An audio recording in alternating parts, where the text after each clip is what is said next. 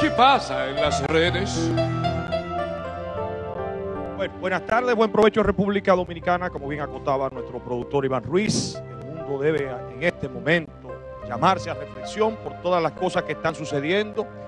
Y el tema que vamos a presentar a continuación es el tema que tiene la opinión pública nacional e internacional en vilo en este instante en República Dominicana. El confuso o la confusa muerte del periodista Junior Ramírez Ferreras, que durante el fin de semana salieron a relucir algunos detalles y nosotros tenemos un fragmento de la rueda de prensa que diera la fiscal Olga Dirá en, la noche de ayer. Vamos a ver en qué consiste y yo quiero que Baloy le ponga audio para ver y que le pongamos atención todos los compañeros lo que dice la fiscal en torno al caso. Hallazgos preliminares de la investigación señalan que presuntamente Junior Ramírez Ferreira habría estado extorsionando al director de la Oficina Metropolitana de Servicios de Autobuses OMSA, ingeniero Manuel Antonio Rivas, quien a su vez le pidió al empresario Eddie Rafael Santana Zorrilla interceder por ante el fenecido abogado, instruyéndole para que de ser necesario acordara con este el pago de alguna suma de dinero a cambio de que desistiera de las acciones legales que había iniciado.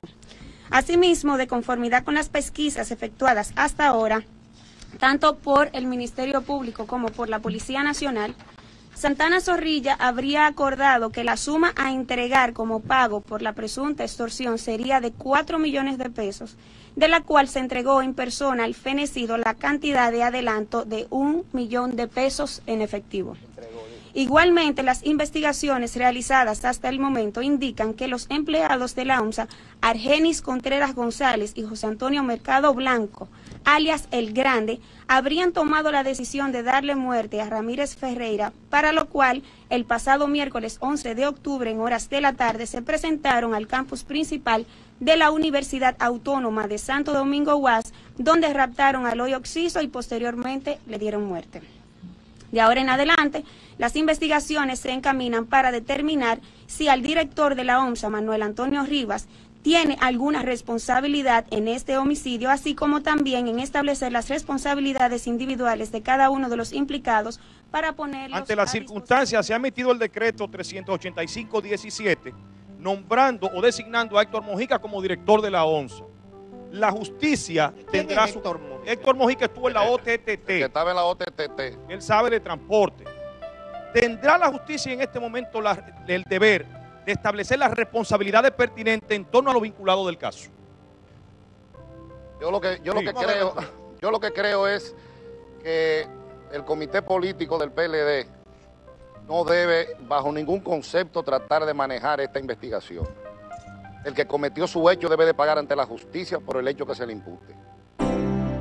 Y en el caso de que hubiera extorsión o no, no estoy ni a favor de que se extorsione a nadie, ni tampoco lo descarto. Ahora, aquí se está hablando de un crimen, de un asesinato, que es un hecho incontrovertible, un hecho real ahí, con un cadáver.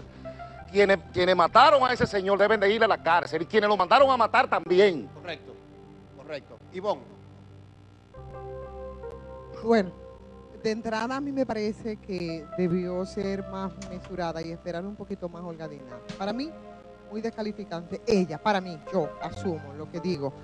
Por otra parte, nada de sorpresa para algunos que desde temprano vimos por los bajos cómo se empezó a manejar precisamente lo que posteriormente dijo la, la, fiscal, lo que dijo Diná, eh, con relación a, la- a las vinculaciones con el bajo mundo con, y los cuestionamientos al, al abogado junior, que después se dijo un poquito más en voz alta cuando lo dijo un ex juez que fue Iliani.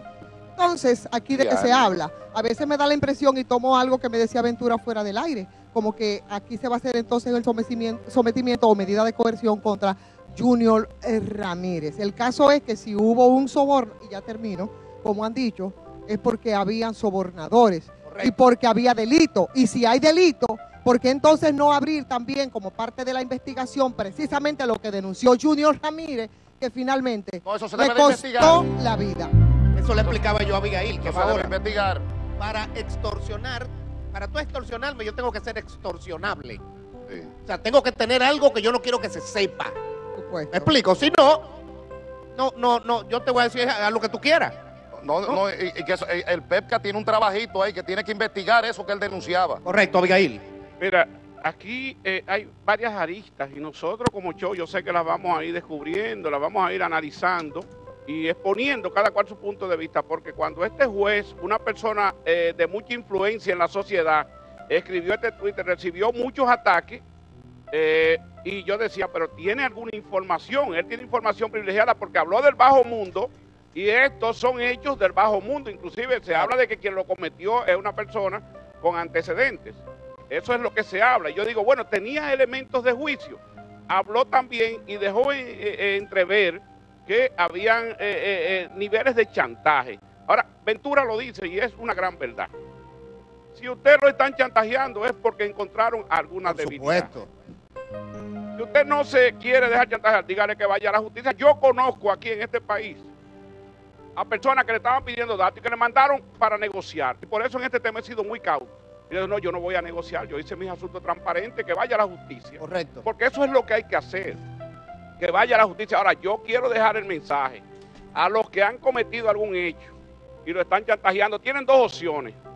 O pagar a los chantajistas o O denunciar. renunciar Eh. y denunciarlo. Eh, Porque llegar a estos extremos, mire, el ingeniero Manuel Rivas, por lo que se ve, es una persona de prácticamente sesenta y pico de años.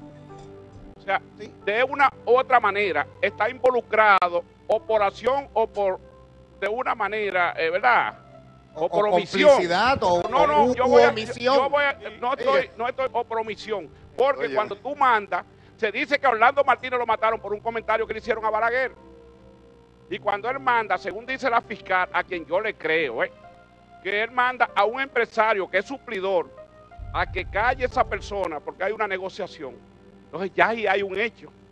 Ya lamentablemente hay un hecho que desencadena en el crimen de eh, Junior Ferreira. El abominable Yo, crimen. Particularmente te voy a decir una cosa, Iván. Yo creo que el presidente ya ha hecho muy bien destituyéndolo y, como decía Ventura, no creo que el comité político ni nadie va a defender si hay culpabilidad. Eh, Mira, y tú, tú sabes, Mira, debería, debería en este caso, para que la gente crea en los resultados de la investigación, de nombrar un fiscal especial para ese caso.